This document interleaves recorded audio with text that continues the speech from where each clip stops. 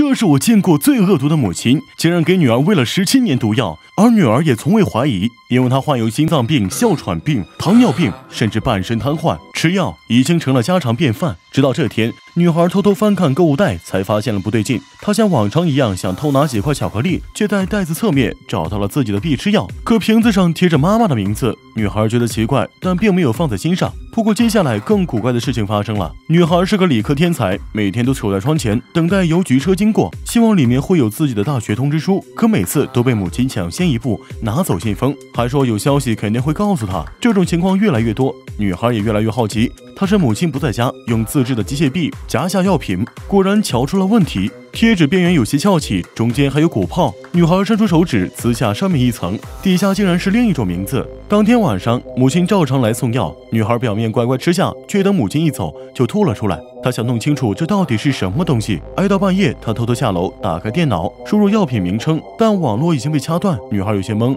却不知道母亲就站在厨房悄悄看着。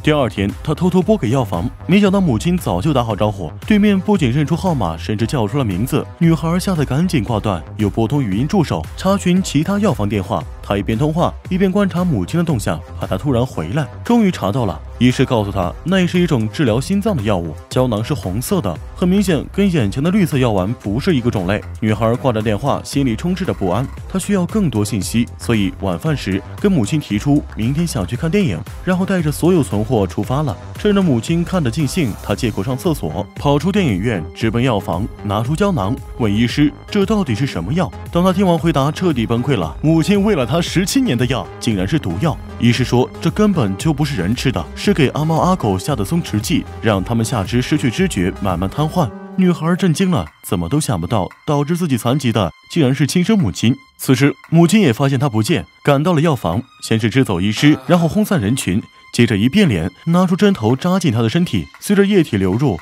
女孩渐渐意识模糊，扑倒在母亲身上。再次醒来，又回到了家里，桌上是爱心早餐，旁边放着一杯药片。女孩匆忙去开门，却怎么扭都扭不动。原来母亲已经从外面把门死死别住。她有些不知所措，不知道短短一天，自己和母亲之间怎么就变成了这副样子。她探出头看看窗外，有办法了。女孩吃掉早餐，补充能量，然后拿出电线，抱上被子，含了一口水，开始顺着屋顶艰难爬行。她咬着牙，卯足劲，来到一扇窗前，拿出电烙铁，使玻璃开裂，再喷上一口水，玻璃炸了。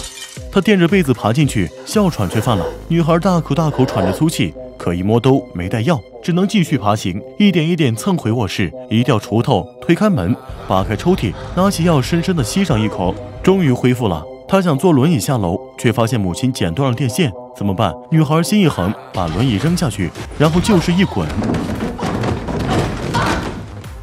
他躺在地上，大脑一片空白，耳边充斥着轰鸣，却突然抬头。看向自己的脚，那里竟然有了知觉，因为他很长一段时间没有按时吃药了。原来真的是母亲在害他。女孩挣扎着爬上轮椅，跑了出去。她用力转动轮子，就像跟时间赛跑。终于看到了邮局车，她跟司机讲了自己的遭遇，正准备上车逃走，却看到母亲迎面驶来，然后下车跟司机交涉，让他把女儿还给自己，说着还要报警。但司机一句都没听，只是把女孩抱上车厢，准备带走。谁料刚要关门，一根针管扎进了脖子。再次醒来，女孩已经被母亲囚禁在地下室。她想离开，轮椅上却拴着铁链。在这里，她看到了无数名校的录取取通知书。原来母亲一直跟她抢信封，就是不想让她上学。女孩又翻到一张照片，上面是幼时的自己，下半身粘着一张便利贴，掀开后在快乐的奔跑。原来她并不是先天残疾，她的双腿是可以站起来的。女孩汗毛直立，一股凉意顺着脊背往上爬。但紧接着，她发现了更加恐怖的事情：自己教了十七年的妈妈，竟然不是亲生母亲。原来，女人的孩子出生就患哮喘瘫痪，还没满月就夭折了。她承受不住打击，心生恨意，偷走了别人的孩子，然后通过药物让女孩患上哮喘，下肢瘫痪，跟自己的孩子一模一样，再细心呵护，加倍照料，寻求被依赖的母爱，真是太变态了。女人走下来，看到女孩的神情，知道瞒不住了，于是拿起针筒开始调药。女孩吓得大声呼救，一个劲儿往后退，躲进仓库，锁上了门。她听见母亲转身离开，应该是去找钥匙了。绝望之下，女孩拿起毒药，等母亲打开门后一饮而尽。她在用生命打赌，赌女人舍不得让她死。果然，当她醒来，发现自己躺在医院，嘴里正插着管子，说不出话。女人就站在门外冲她挥手。好不容易等对方离开，女孩立刻按铃叫来护士，示意她要写字。可写到一半，医院就拉响紧急报警，叫走了所有医护人员。而女人走进来，将她抱上轮椅，偷偷运走。女孩看着路人，想张嘴求救，却发不出声音。最后还是护士赶回病房，发现女孩失踪以及本子上写下的母亲，火速报了警。最终在大门前，两人被拦了下来。十年后，女孩到监狱里探望母亲。此时，她已经能拄着拐杖自主行走了。她跟母亲说自己去看了外公外婆，微笑着侃侃而谈，仿佛真的原谅了眼前的女人。但下一秒，脸色一变，从嘴里吐出三粒胶囊 i love you mom open wide。故事到这里就结束了。这是电影《逃跑》，虽然类似题材近几年挺多的，但香蕉姐演技真的不错，悬疑氛围烘托的也挺足。感兴趣的小伙伴可以去看看原片。好了，那么本期视频就到这里，我们下期再见。